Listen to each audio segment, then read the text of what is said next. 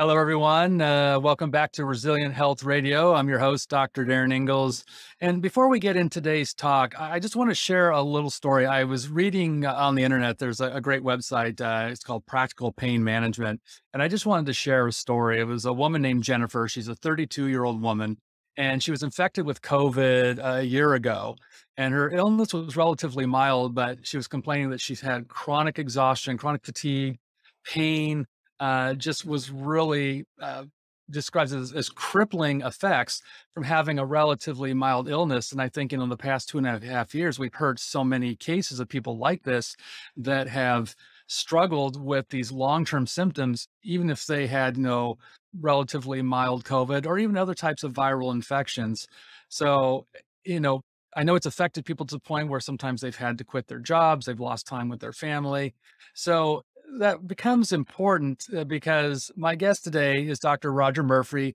Dr. Ro- Murphree was with me before we talked about fibromyalgia. We're going to talk a little bit about it again today, and then we'll talk a little bit more about lung health. And if you guys aren't following Dr. Murphree, he is your fibro doctor, an expert in fibromyalgia, chronic fatigue syndrome. So, Dr. Rodger, welcome back to the show. Hey, Darin, this is uh, this is going to be a lot of fun. Thank you so much for having me back on the podcast. Great. Well, you know, let's maybe jump in and just talk a little bit about fibro again. You know, maybe talk a little about, you know, what is it, who gets it, who's really at risk for this kind of problem. Yeah, I think there's a lot of mis misinformation uh, about fibromyalgia, and people really, even today, even though it's been around for 40 something years, actually it's been around for for uh, decades. But uh, in 1990, the American Board of, of Rheumatology came out with the criteria to be diagnosed with this thing called fibromyalgia. And fibromyalgia is a group of symptoms that people have in common, and we give it a name. Anytime you have a syndrome, the syndrome describes the symptoms. Uh, it's really not the cause of the problem, but right. with fibromyalgia, those symptoms are diffuse, achy, sometimes disabling pain, insomnia, brain fog, fatigue, irritable bowel syndrome. Sometimes they have anxiety and depression, and then they can have a whole list of other conditions that go underneath this banner called fibromyalgia. It affects primarily women. About 97% of those who have women uh, who have fibromyalgia are women. And the estimates are it's anywhere um, uh, 4 to 8% of the world population has fibromyalgia. Wow. That's a so, lot of people. you, know, you know, it's, it is, but it isn't. It, I, you know, uh, you know, you think about type 2 diabetes and cardiovascular disease, which is just rampant throughout our, our uh, society. And fibromyalgia is really just a small piece of it, but it's, you know, we're talking millions and millions of people. And you would think by now, uh, 40 years, uh, 30 years, 30 something years ago when they came up with the criteria, that more people would recognize what fibromyalgia is and we would be further along in our ability to be able not only to diagnose it, but effectively to be able to treat it. Unfortunately, as you know very well, um, fibromyalgia is an illness that really is not served by conventional medicine. And, and that's not to step on conventional medicine's toes. Wonderful, you know, with a lot of my colleagues, a lot of my friends. Uh, but, you know, what where we're at with fibromyalgia in the conventional medical world is that they just tell their patients to learn to live with it. And a lot of physicians won't even eh, take a fibromyalgia patient. Uh, rheumatologists, who are the ones that really came up, as I mentioned earlier, for the criteria to, to have the diagnosis for it to be recognized, most of them now won't accept a new fibromyalgia patient. And, and the reason why, as you, as you know, Derek, is because they found that conventional medicine alone, the common drugs used in conventional medicine is a dead end for fibromyalgia. So unfortunately, they've they've pretty much given up on fibromyalgia and they just tell them to learn to live with it. Yeah, I know. I, have had the same experience in my practice, and I'm almost even hesitant for someone that comes in my office who's been given that label to send them to the rheumatologist or the pain specialist because like I said, we kind of know where that goes. It's, you know, it's pain medication, opioids, sometimes muscle relaxants you know, maybe gives a little bit of symptomatic relief, but certainly doesn't get to the root cause of the problem. No, I think, and this sounds kind of silly, but really the only way to overcome fibromyalgia, and you can. I mean, I've I've been fortunate over the last 22 years specializing in it to help thousands of patients to get their life back. But the only way to overcome fibromyalgia is to get healthy. And, and again, that sounds so simple.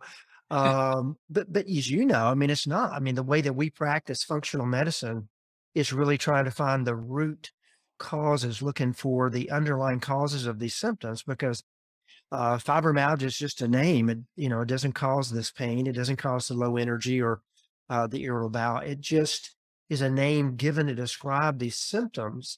And what really has to happen for these folks to get their life back is we have to uncover what are the causes, what are the triggers, and then start to correct those. And that's different for every patient is a little bit different. There's some common causes, uh, but in conventional medicine, as you know, it's all about treating symptoms with prescription medications. And there's certainly a time and a place for that, no doubt. But if you've got, I mean, goodness, I mean, you know, with these folks, if, you, if you're treating every symptom with a drug, I mean, they can be on half a dozen or a dozen drugs. I mean, you know, a drug to put them to sleep, a drug to wake them up, a drug to speed them up, a drug to slow them down.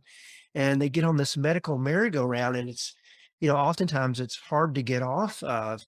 And oftentimes they don't even know I'm taking this blue pill in the morning and I'm taking this purple pill at night. They don't even know what they're taking these medications for because they've just kind of gotten lost in the whole medical shuffle.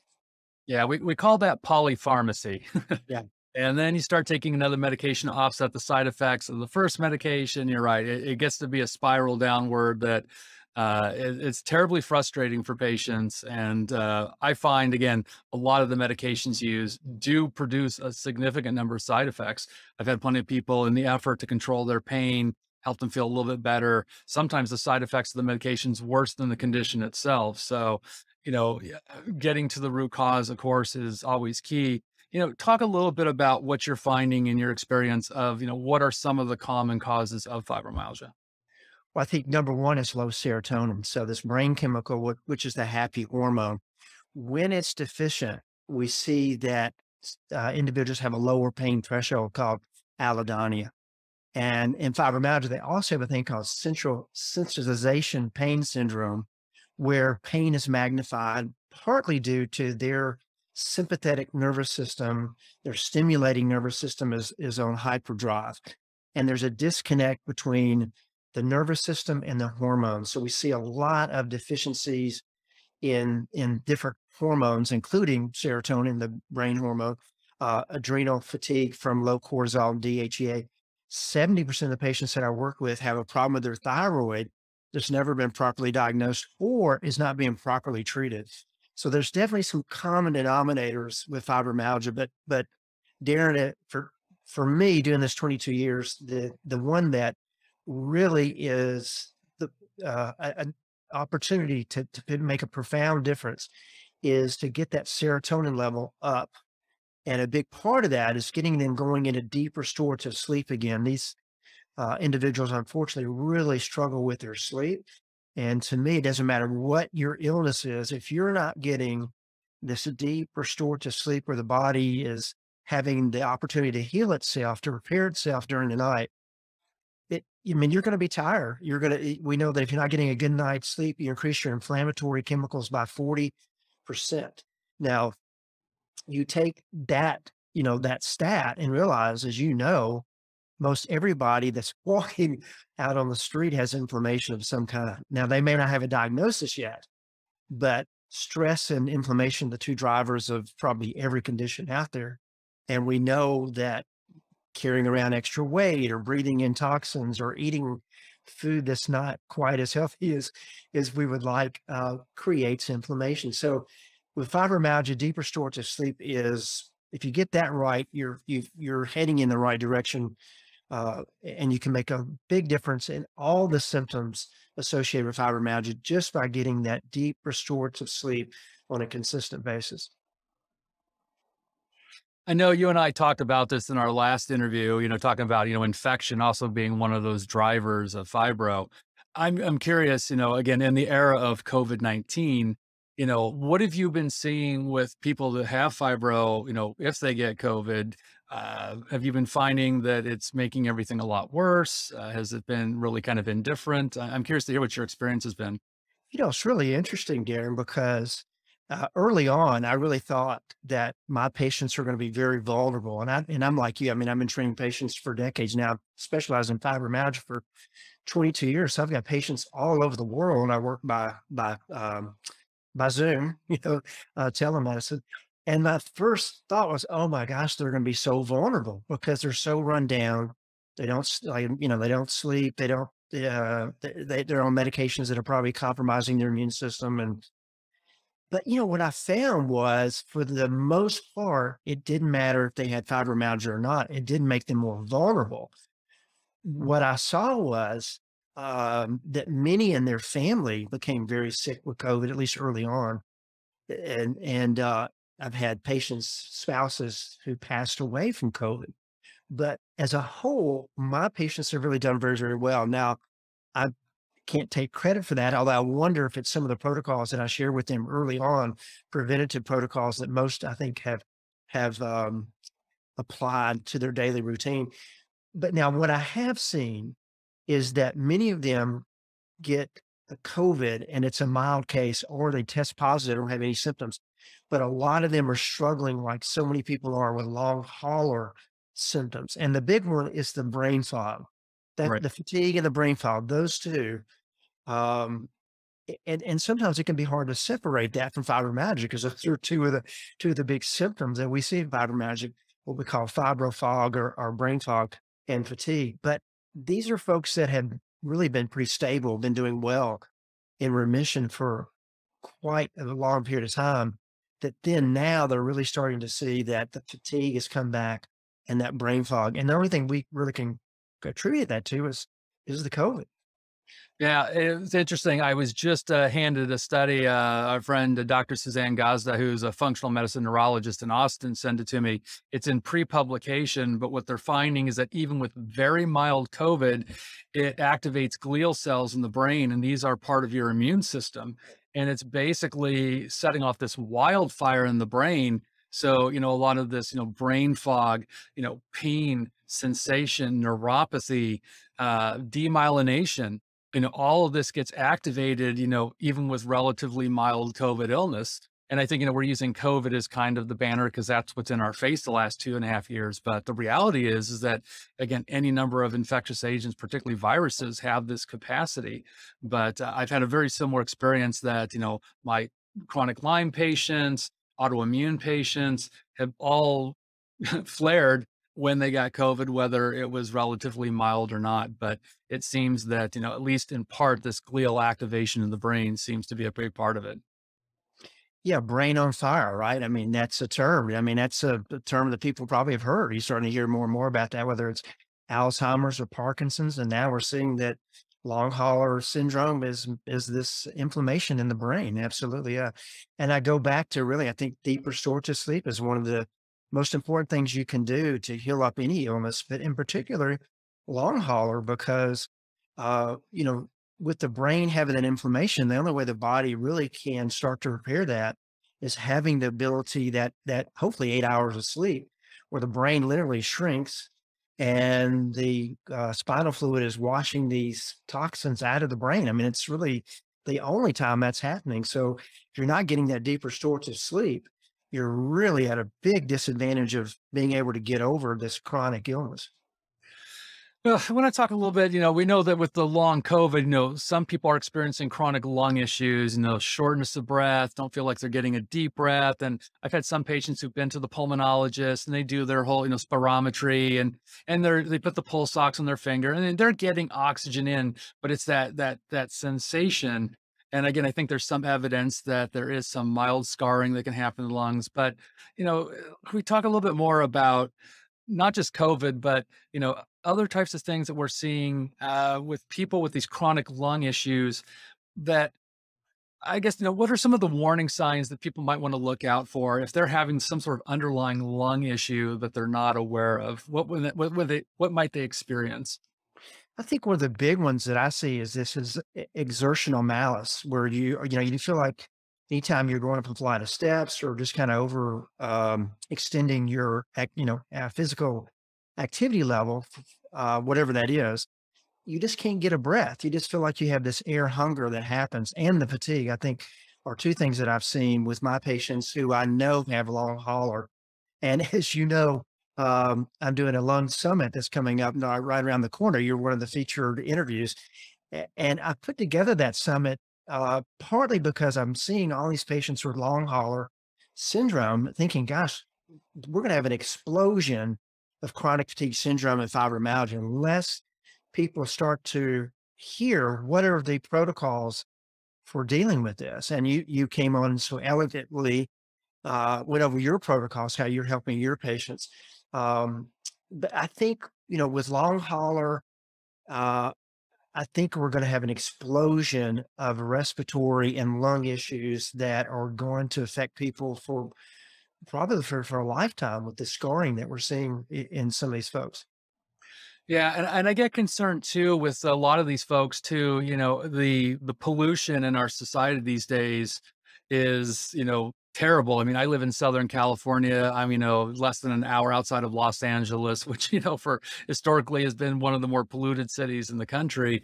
But you know, it's an it's a global problem of you know pollution, and of course, out here in California, the last several years we've had massive forest fires you know, that very fine ash that gets in the air, which blows for literally hundreds of miles, uh, can, you know, cause this low level inflammation, low level irritation.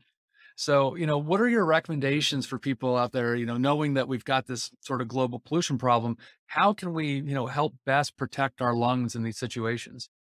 Great, great question. And, and, uh, you know, if you, if you think about it, our lungs are the open window to the world.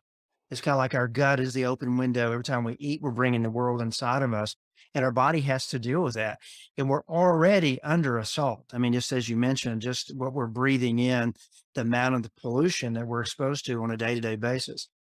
Uh, I remember going to, and in this, I, I, forget what year, maybe you would remember this, but when I, well, maybe not, because unfortunately, it seems like every time we go out to California, there's some kind of uh, calamity going on. But we were out, we were out in Sun Valley a few years ago, um, and it was so bad. It was the wildfires coming from California that they had days where you couldn't even go out. It wasn't even safe. There, this you know, hundreds and hundreds of miles away. So uh, these are kind of things that people are exposed to. But I think part where it starts is your home.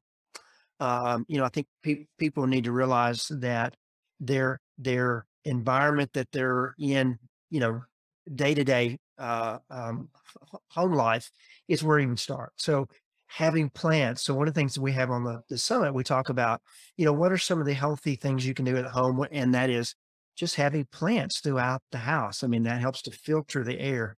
Using an air purifier, uh, with, you know, there's all kind of different ones out there. I've been using uh, an Austin Air home purifier for probably 15 years.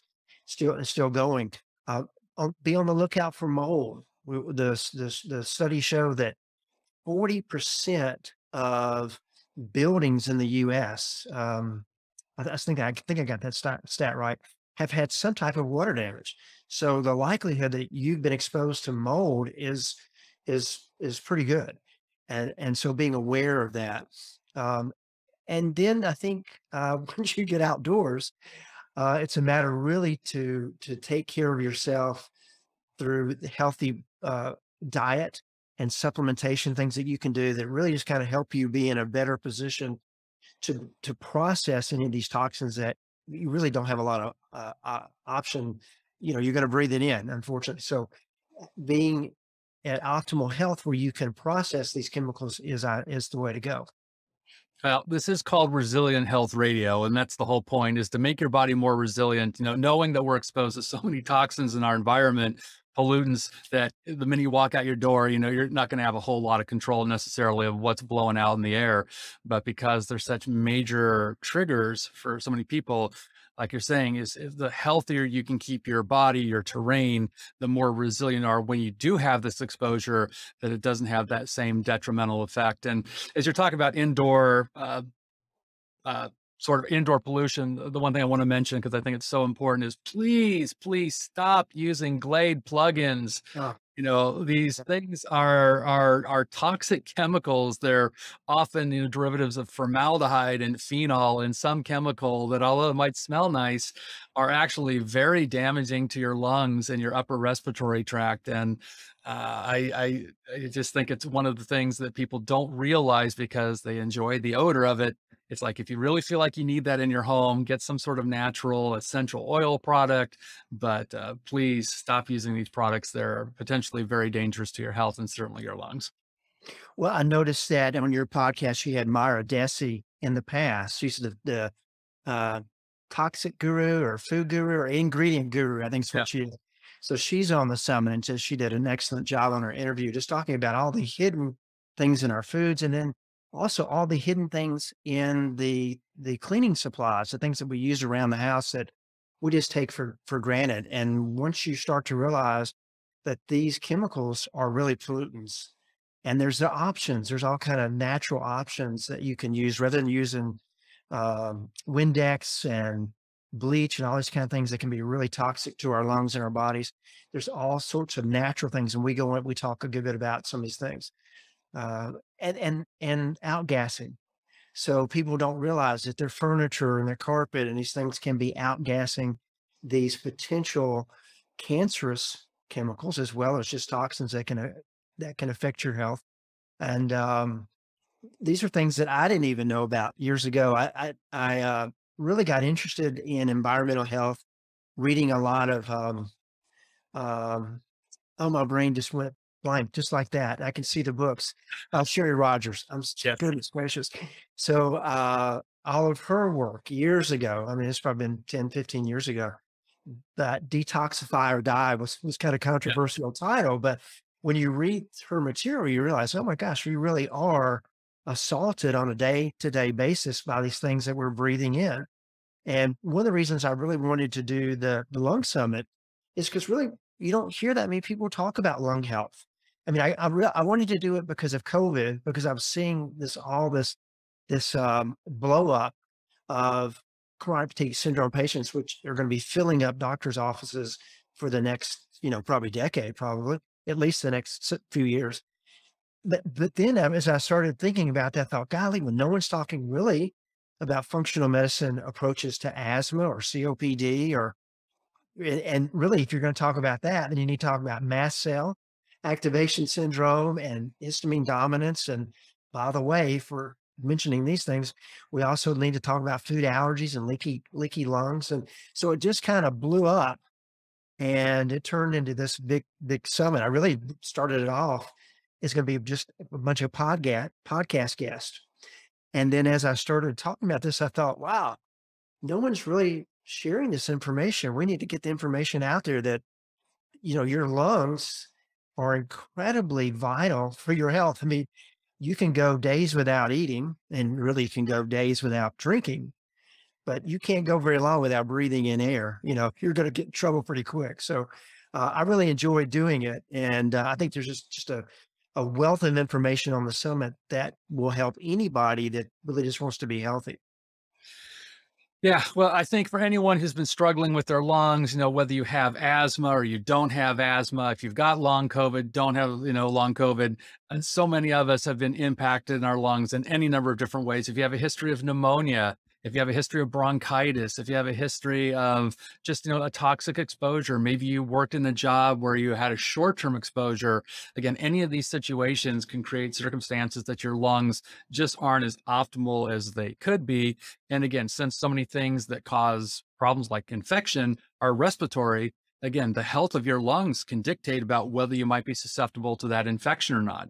So you'll definitely want to tune in to, to Rodger's uh, summit because he's going to walk you through all these aspects of improving your lung health.